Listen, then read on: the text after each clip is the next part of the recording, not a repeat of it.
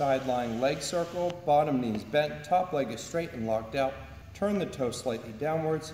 I'm going to draw out a circle about the size of a hula hoop. Clockwise and counterclockwise. The knee is locked out.